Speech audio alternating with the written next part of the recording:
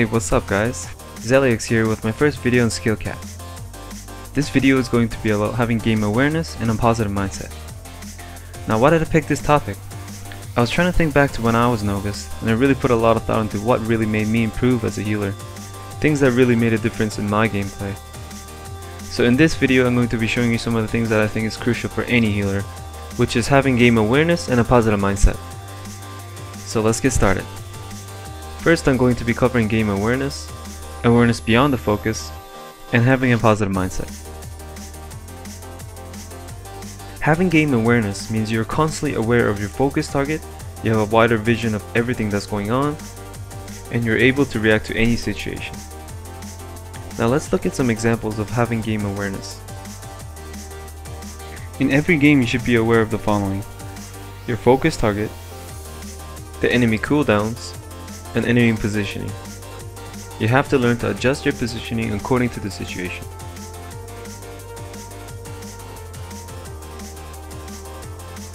Full sheep, full, full CS. First thing, Okay. first thing, priest, first thing, priest.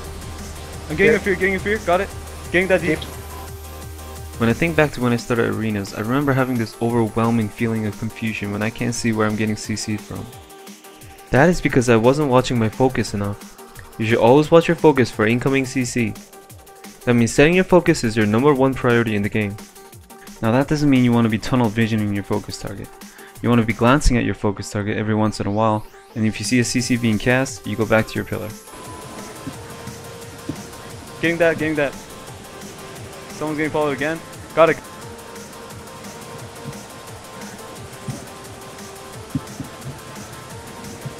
Kidney on the breach. I'm gonna go fear that druid. Okay. Yeah, get off, get off. Help me Get get to him, help me get to him. Did you see what happened to my focus target? A lot of the times mages will purposely use mirror images or invisibility to break your focus. You should always be aware of that and try to put them back on focus as soon as possible. Now just because my focus is broken does not mean I am not aware of him casting. This is where I'm going to be talking about your field of vision. Most gladiators have a large field of vision, meaning they are able to see much more than an average player. But not everybody started this way. When you first begin arenas, your field of vision is extremely limited. Your eyes are probably focusing on one thing at a time. Probably somewhere here, here, or here. Eventually what you want to be doing is expanding your field of vision. You want to be seeing more than you could before, seeing multiple things at the same time. In every game try to challenge yourself to see more, and pay close attention to what your enemies are doing. Now we'll go over this in more detail in the next section, because this is going to take a lot of practice, but if you consciously try to expand your vision, you will eventually see things that you couldn't see before. Poly, I'm poly. Dead volley, dead No. volley.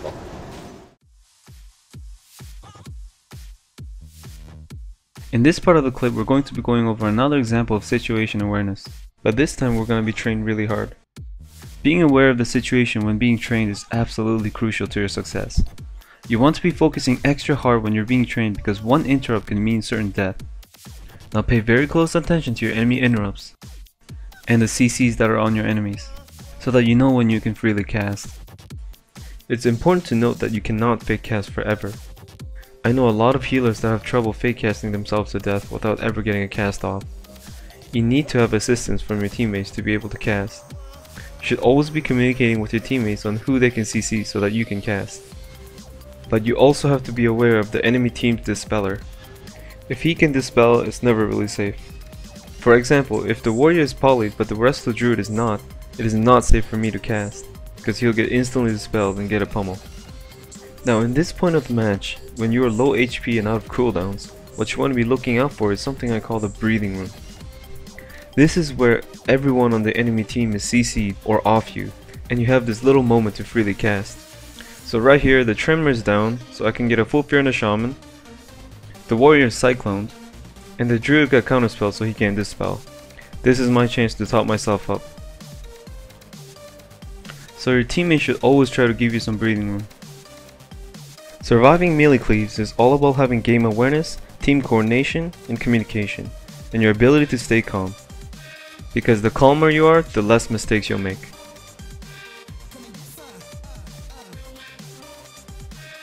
Now, we talked a bit about what mages do to break your focus. Then we talked a bit about expanding your field of vision. Here I'm going to be showing you an example of those, as well as why you need to be aware of things beyond the focus frame. Here the enemy mage uses mirror images to break my focus. But just because he's not on my focus doesn't mean I'm not watching him. I see that the mage blinks right here, so I'm already aware of what he's going to do next. You should always be aware of your enemy positioning. If a mage comes to your line of sight like that, that can only mean one thing. He wants to poly you. So my eyes already shift to the arena frames to watch the mages cast, and I get an easy shot over that there. The better option would be for you to preemptively position yourself that way to completely line of sight the polymorph. Now if we look at a comp like MLS, we got two spammable CCs, the Mage's Poly and the Warlock's Fear. Obviously you can't have two focus frames. You really need to pay attention to their positioning and watch for incoming CC. Not only through your focus frame but see beyond that and predict ahead of time what they're trying to do to you. That's his ring. I'm not. I'm not gonna go into the ring. Actually, I am. Uh, Venom was trying to fear me. You're you're LSing you're LSing me. I'm not going Dude, in there I'm- dude. Where are you? Okay, I'm coming. Other side, other side, other side. I'm gonna trinket. Yeah, that's fine. I'm just gonna cloak here. God damn it. Yeah. Can you come back? Stay there, stay there, stay there. What'd you say? Just don't overextend too much. Alright. I'm on him. I'm, you want me to buy metaphors? Yeah, yeah. Yeah, yeah. Go, Alright. go. Uh, I'm in fear. I'm in fear. Getting it. Blinding. Blind. He trinket. No, he didn't. Oh, he didn't? Mace trinket. He's trying to fear me. He's trying to follow me. I'm gonna go on sear lane, dude. Go, go. Can you bomb the block? I'm purging him. I'm purging I'm him. coiled. I'm coiled. Get this fellow me. Push him on the sound. Yeah, yeah, yeah, I can, I can. Nice sheep. Nice sheep. Get ready to dispel block. There it is. Bursting, I'm gonna bursting. smoke bomb him. So as you can see, I predicted a lot of incoming CC and avoided as much as possible. A comp like MLS can lock you down the whole game only if you let them. Now let's take a quick look back on how I did this. The mage is on my focus, but I see the warlock coming towards me to cast a fear. So I start moving towards the left side of the pillar so it's not even worth it for him to come and chase me.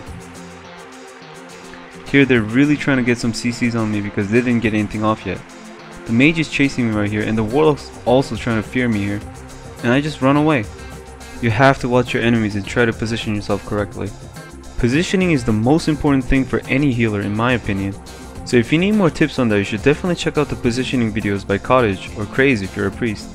But what I would really like for you to get out of this video is to just be more aware of your surroundings. Watch and predict what your enemies are trying to do and prevent as much incoming CC as possible. In this clip I want to focus on warlocks.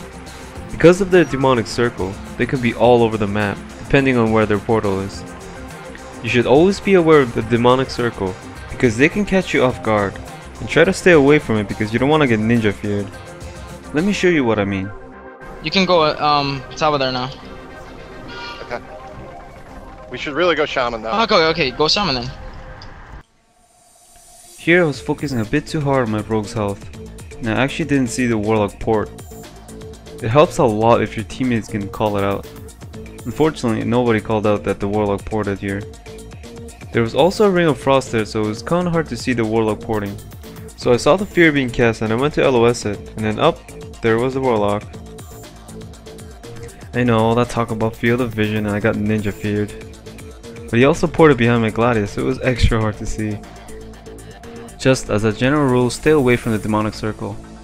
There's absolutely no point standing near it. Now let's move on to the last section of this video, which is about having a positive mindset. Now you might be wondering how this is connected to game awareness.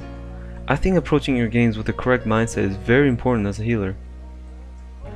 In this section I'm going to be talking about the correct mindset to approach your games, team morale, and mental fatigue. The correct mindset to approach any game is to be playing to win, no matter what the situation warrants. Because if you give up, you get nothing out of it. But if you give it 1000% in a game, not only will your chances of winning improve, but even if you lose, you will improve far faster than if you had already given up. There's a huge difference between trying and losing, and giving up and losing. Losing is part of the game, but if you're actually trying to win, you're already thinking of ways to improve, which will make you far better than where you started. You should never enter a game assuming that you're going to lose, because there are times when you can turn things around, and that's what makes this game worth playing. I'm hexed. Thank you. I'm corroded. I'm kidney full. I'm kidney full. I need help. Okay. Smoke bombing defensively. I'm di- disarming Rogue. Disarmed him. Fuck. I'm okay. I'm okay. I'm gouging. Here, my rogue thought the game was over until I yelled out that I'm okay. This completely changed his state. This is where I'll be talking about team morale. Team morale can have a big role when you're having a long game. You need to effectively communicate with your teammates on the situation, because the healer knows if the team will be okay or not. Always call out things like, I'm okay, I got you, I can get you up here.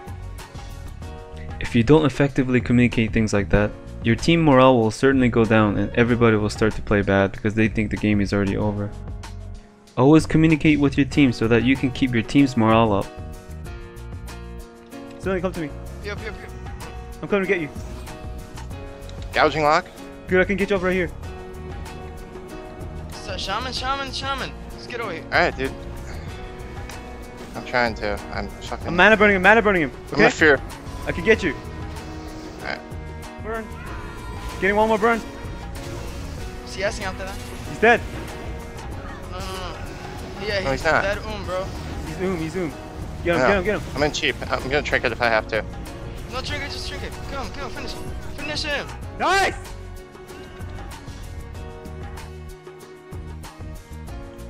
In this clip, I'm going to be talking about mental fatigue. When you have really long intense games, your whole team will be mentally fatigued. It's very important for you to keep up a positive mindset in order to succeed. Try to stay positive, keep your team morale up, and really try your best to win. In this clip, we have a very high rated match that lasted longer than expected, going 25 to 30 minutes of intense sparring, both teams almost dying every few minutes. You will notice how fatigued I sound later in the match, but notice how we keep up a positive attitude to victory. Alright, I'm gonna go lock I'm hard. silence. I'm silence full. He's bursting you. He's bursting you. Holy shit. So much damage. This is fucked up. It is, yeah. Sheep and the shaman. Sheep and the shaman. Getting your fear. Feared, feared, feared. Flying, uh, Kelbra. Holy fuck! This damage is so fucked up. Yeah, it's because the shot priest has wings, dude. Ah, no, no, keep hitting. Keep hitting. Don't worry. I am, I am. Just sheeping for are you? I'm hitting Venema, so Okay. I'm on priest. I'm on priest. There's a mana tide if you can get. Actually, no Alright. more. Can't, I can't hit the tide right now, so. I'm getting a quick drink here. Alright. I'm sheeping the shaman. Sheeping the shaman. Shit, never mind, never mind. Alright, I have a kidney I got the fear. I I got the a smoke fear. bomb, dude. I can ki- kidney do, smoke do, bomb. do, do, do, do it. Smoke bomb, smoke bomb. Dispersion. Go, go, go. We got this. Sheeping the shaman. Sheeping the shaman again. Sheeping the shaman. Oh. Getting a quick drink. I getting just a shoot him. I didn't break it. I didn't break Sheeping the it. shaman. Sheeping the shaman. Look, look, that's full. I'm shouting this guy. I'm shouting this guy. Alright, do it, do it, do it. Kill, kill, kill, kill. Go, go, go, Kill him. Yeah. Oh God. Yes! man. Good Fuck! job. Good job. Fuck! Fuck! That's fuck. Ah. Okay, that was fun. That's it for this video about game awareness and having a positive mindset. Let's do a quick recap on what we went through. First we went through having general game awareness by always watching your focus frame. And then we talked a bit about your field of vision and how you should always try to expand your vision by seeing more. Then we went into awareness beyond the focus frame where we got into shifting your vision to the arena frames when necessary. And most importantly, we talked about being more aware of your surroundings by watching your enemy positioning to try to predict what they're trying to do to you so you can avoid as much CC as possible. And lastly, we talked about how playing to win can have a positive impact in your games, and how important it is to have a positive mindset to keep your team morale up throughout your games. Remember to play to win and never give up on your teammates, and they won't give up on you. I'm going to have many more videos like this one on SkillCap, So if you enjoyed this and you would like to see more videos, as well as hundreds of other videos like this, you should definitely come check us out. In fact, I actually started out as a SkillCap member before I became a contributor. I learned a lot from watching all the instructional videos there, and actually having my questions answered thoroughly by top gladiators. I joined skill SkillCap around 2k rating, and now I'm playing at 2.9 to 3k rating on multiple priests. SkillCap definitely did help me, so if you really want to improve fast, click the link below in the description and come check us out today. I hope this video has been helpful to some of you. Thanks a lot for watching and I hope you the best of luck in the arena.